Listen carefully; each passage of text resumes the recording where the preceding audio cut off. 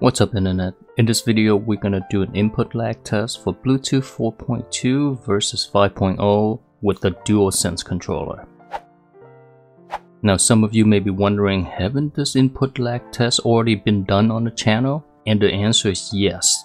And this is my fault, when I did that test I assumed that the Xbox Series controller was Bluetooth 5.1 compatible. But it turns out recently I found out that the Xbox Series controller only support up to 4.0. But the good news is the PS5 DualSense controller does support Bluetooth 5.0 and that's why I'm redoing this test again. Without further ado, let's see what the difference is when it comes to input lag between Bluetooth 5.0 and Bluetooth 4.2. I'm going to be using a 960 frames per second high-speed Sony camera to do this test this camera is fast enough for us to calculate input lag in the milliseconds. That's 1000 milliseconds for every second. We are going to import the pre-recorded high-speed footage into my video editing program.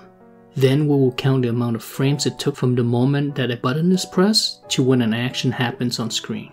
And finally, we will input all of this data into my handy spreadsheet to calculate frames into milliseconds.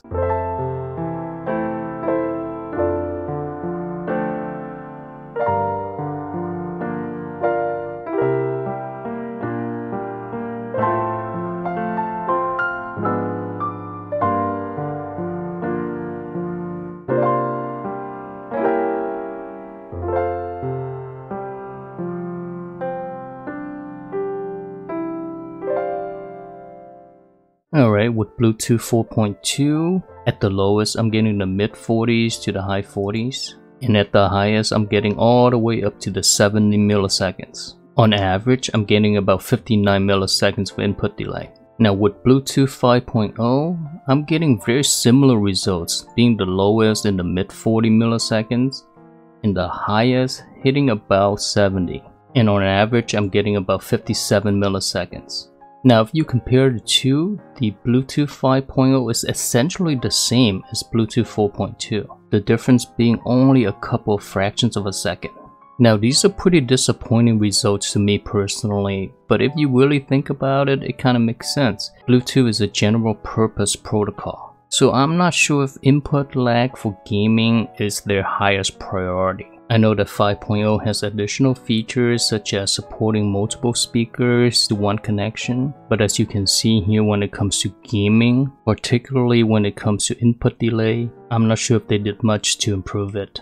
And maybe perhaps this is why the Xbox Series controller doesn't support 5.0 because the input delay is essentially the same. So Microsoft probably didn't want to take on the additional costs when upgrading to the new Bluetooth 5.0 protocol will give you essentially the same performance.